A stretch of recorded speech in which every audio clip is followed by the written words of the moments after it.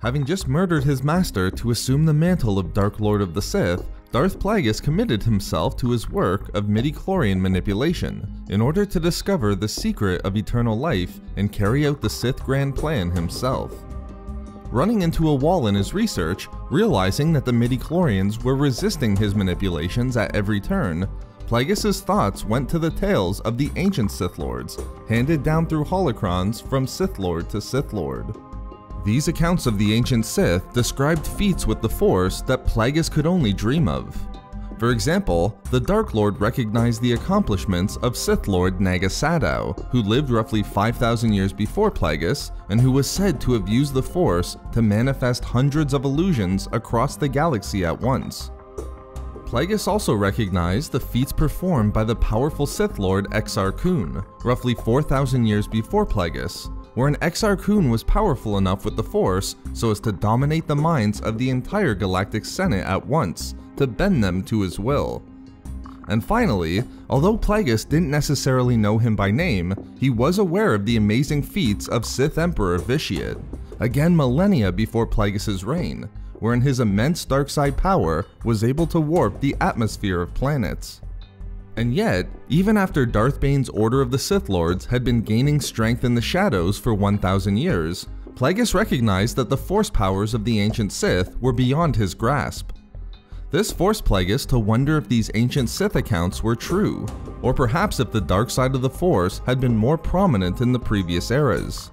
However, we do know that the ancient Sith did have more powerful Force abilities than the Sith of Darth Bane's era, right up to the end of the lineage with Darth Sidious, abilities that made Force lightning look like child's play.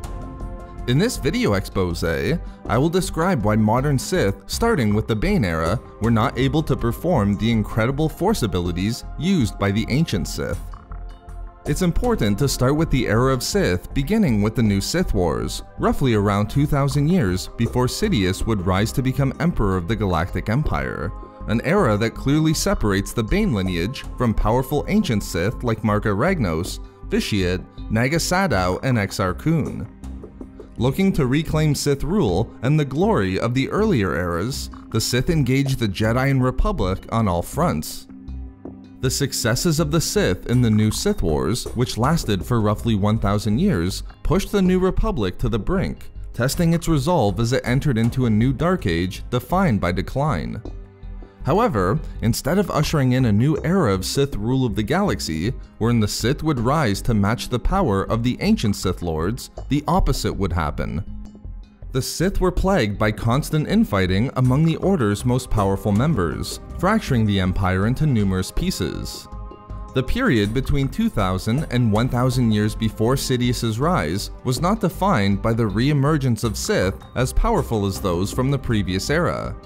Instead, the Sith were fractured as weakened Sith Lords were happy to claim their own personal domains throughout the galaxy, small tracts that they ruled as warlords. Instead of trying to reclaim the power of the ancient Sith Lords, the Sith operating in the era of the new Sith Wars were weakened by infighting and happy to rule over whatever meager holdings they could claim.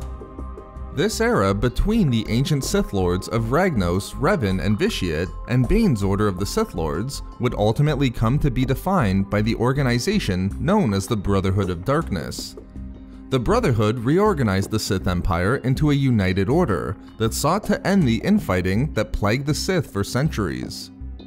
But the importance of the Brotherhood isn't just that it represents a period in which the Sith had become weak, preventing their ability to reclaim and match the powerful force abilities of the ancient Sith. It shows a complete rejection of the teachings of the ancient Sith, wherein the Sith Lords prior to the Bane era turned their back on the teachings of the Order's most powerful historical members. This is demonstrated through no better example than the rise of Darth Bane, who recognized that the Sith Order had grown weak due to their rejection of the ancient Sith teachings gradually over the course of roughly two and a half millennia. The natural result of this path was the Brotherhood of Darkness, a Sith Order defined by equality and cooperation among Sith Lords, which was clearly weakening the Sith in the eyes of Bane. But more importantly, the Brotherhood would also come to be defined not only by their rejecting the teachings of the ancient Sith, but the suppression and circumventing of these teachings in their entirety. as Bane would eventually learn through his study of the archives at the Sith Academy on Korriban, the teachings of the ancient Sith, including the techniques that would produce their most powerful force abilities, were lost throughout the era of Sith infighting during the previous millennium. The more Bane studied the archives, occurring roughly 1000 years before the rise of Sidious, and which should be pointed out as containing only the most basic teachings of the ancient Sith, the more Bane recognized just how far the Order had fallen, and why none within the Order could even approximate the power and force abilities of these preceding Sith Lords. Having found the archives on Korriban to contain immense wisdom from the ancient Sith, full of their teachings and interpretations of the dark side, Bane confronted the headmaster of the Korriban Academy named Qordis. Bane tried to convince Qordis that the archives should be implemented into the study of the Sith on Korriban. However, Qordis would hear none of it. Instead of accepting Bane's opinion that the archives contained valuable wisdom from the ancient Sith, Qordis told the future Dark Lord of the Sith that they were merely relics from the past, with their teachings being from a time that had long vanished. Although Bane could recognize that the Order had changed, he still saw the knowledge of the ancient Sith worthy of study. Qordis, on the other hand, viewed the ancient Sith with contempt, merely dust and bone, and their knowledge should share a similar fate. Qordis' position is important because it represents a culmination of views the Sith Lords had during the millennium of the new Sith Wars. The modern Sith, particularly those of the Brotherhood of Darkness, saw the ancient Sith as relics of a previous age. Therefore, the powerful force techniques that they mastered were not passed down to the modern Sith Lords who dominated the Order thousands of years after Revan, Vitiate, and Naga Sadow. But the teachings of the ancient Sith, particularly the powerful force abilities they knew, were locked away not just within the manuscripts within the archives, but within their holocrons.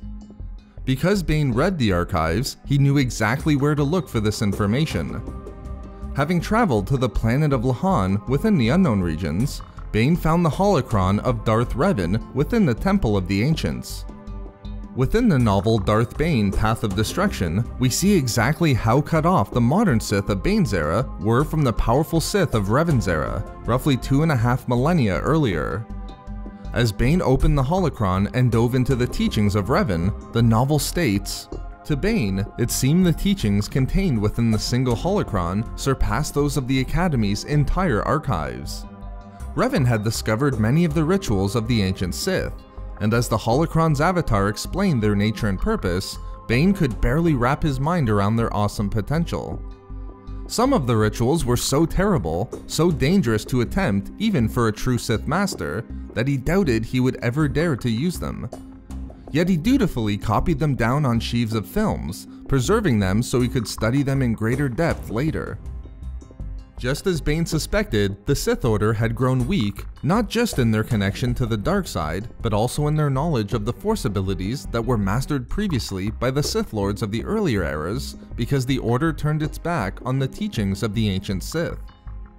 The Sith Lords in the era of Bane were content to hold on to their meager territories and simply rule as warlords, not rulers of the entire galaxy. Given what he learned from Darth Revan's holocron, Bane would start a new era that accepted the teachings of the ancient Sith, an era that would come to rediscover the powerful rituals and abilities that were mastered by them. One such ritual was known as a Thought Bomb, a devastating ancient ability that Bane would use to annihilate the entirety of the Brotherhood of Darkness.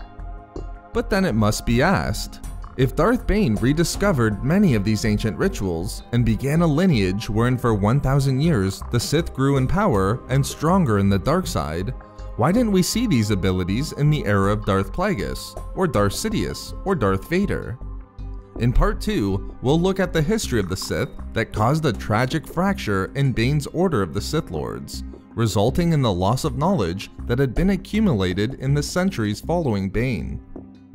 So there we have it how the knowledge of the ancient Sith regarding their most powerful force abilities was lost but then revived by Bane.